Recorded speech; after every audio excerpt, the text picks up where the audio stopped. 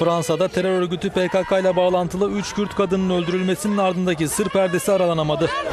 Olayla ilgili soruşturma devam ederken Başbakan Recep Tayyip Erdoğan, Fransa Cumhurbaşkanı François Hollande'dan öldürülen PKK'lı kadınla niçin görüştüğünü açıklamasını istedi.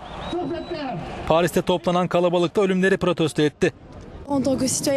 Endişeliyim. Her şeyden önce Fransız vatandaş olarak kaygılıyım. Çünkü şok olduk. Bir Kürt olarak da kaygılıyım. Çünkü bu üç kadın bizim toplumumuzun sembolüydü.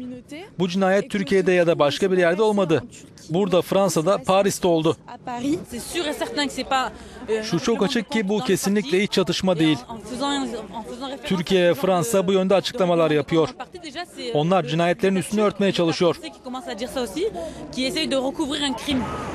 Hollande öldürülen PKK'lı kadınlardan biriyle düzenli olarak görüştüğünü söylemişti.